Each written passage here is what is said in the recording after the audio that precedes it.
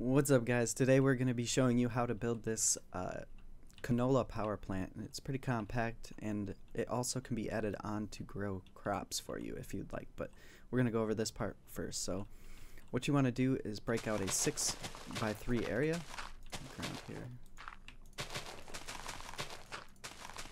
Next you want to add in some sort of cable. I'm going to use the leadstone flux duct. It's the cheapest one for uh, early game Next you want to come over here, break out two cables like that, or two pieces of ground and put in cables. Then you're going to want to place your aqueous accumulator right here in the middle and just surround it by water. After that we're going to get our oil press, which or oil uh, generator from Actually Additions. You can place these down in each one of the corners. And then uh, we need to grab a fermenter. So we put the fermenters on each side like this, a trash can between these two closest to the aqueous accumulator, a leadstone flux duct, which is also kind of cheap early game, right here in the center.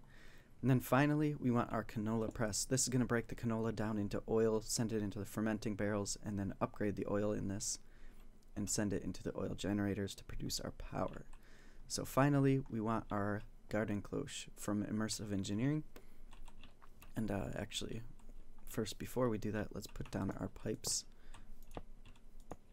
There we go. You have to do it at the edge right there. So we got our pipes here coming out like that. Now we want to place our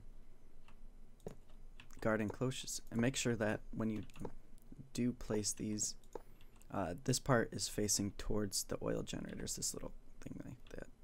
So next we want to get our nodes from Actually Additions, and you don't need grid power for these, they work without it. You're going to place them like that.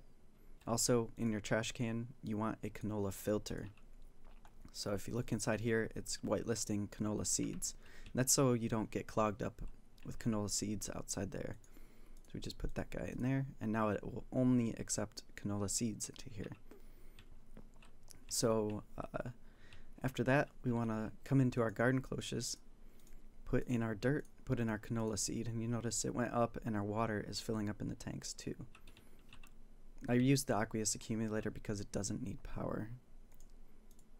So let's just get these in here. If you notice, the crops aren't growing yet because we don't have power going to these top ones right here. We'll get to that in a minute, but next we want to grab our pipes and place them like this and then we're going to put down a item barrel from YABBA, or actually, yeah, it is from YABBA. So what that'll do is kind of give you a backlog of your uh, canola once you do start producing some. So one other thing we do need for our barrel is called a hopper upgrade. This hopper upgrade is going to allow us to uh, allow this barrel to act like a hopper and send the canola down into the press without actually having to use any of these pipes. So we do that next, and once the final step? Well, not final, but actually we'll get to this. So you're going to want to put all these on orange, all of them except for the bottom one. You want this to be blue. That's important because the power is going to come from the bottom, fill this thing up, and then it's going to send it into our uh, canola press on the back here. Now the only downside to this is that you do need to jumpstart the system, but once it's started, it's set and forget. It'll keep running no matter what forever, as long as uh, it doesn't blow up. But it's really compact, and uh, as you can see over here, we've got a 2 million RF already built up. I'm just going to jumpstart it using the other farm, but you can use uh, a coal generator or any kind of really weak uh, energy source. So if we just connect that in, it's going to start filling this up. And you'll see back here that uh, these have started growing. And they actually grow quite fast, so you'll uh, we can actually just cut that off already. So once these are done growing, it'll take the canola automatically out of here.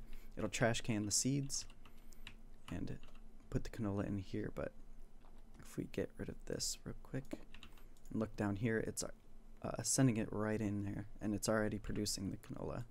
So eventually it does take a bit to warm up and uh, produce everything it needs to to run these at full capacity, but once it does get going and all the buffers and everything are filled up, this thing is amazing.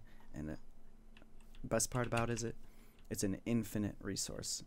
So you're never going to run out of this. It's just going to continuously produce power for you without you ever having to do anything. So that's the power side of this. Alright, on to the uh, farming part of this if you want to turn this into a farming station too. So we're just going to place down uh, maybe two or three. You can put down as many as you like, but we'll just go with three. So you want to grab your uh, fluid pipe from Immersive Engineering and bring it over. Sorry about that. And that's going to start filling your water tanks up. So now we want to just uh, do the same thing we did before is we're going to fill these up with our seeds and our dirt. Let's grab a few of those. And this is going to be growing uh, vanilla wheat. But you can use uh, other modded things in here. So next we want to bring over our power. Like so. And that should actually start growing it already. Next we want to do the same thing is grab our nodes and you'd want to uh, trash can your seeds just like before. So I'm gonna this time I think I'm going to, yeah, we can do the same. So we do need that uh, filter that's in here, but we just want to change it. Instead of doing that, we're to put in our seeds.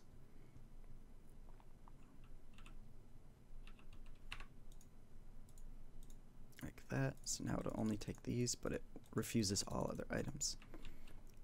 After that, we want to bring it out and since uh, we're not actually doing any of that other stuff, we're just going to place this down and that'll collect uh, any sort of wheat that uh, comes out of here. So there we go, we already got two wheat and this barrel holds 4,000. You can upgrade it pretty cheaply actually to uh, produce, or not produce, but hold way more items than what it is.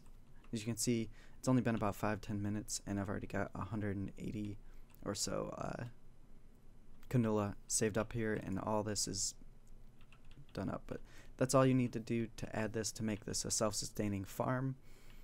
And uh, you can also add on to here with more uh, garden cloches or if you like you can pull the power out and power your machines using this. But I recommend uh, when you do try to power this these generators right here are only producing 80 RF a tick, which comes out to be about 320 RF. So what you do is turn your output down to 300 because if you do drain out too much energy out of this, it'll actually shut it off. So keep that in mind and uh, that's uh, all.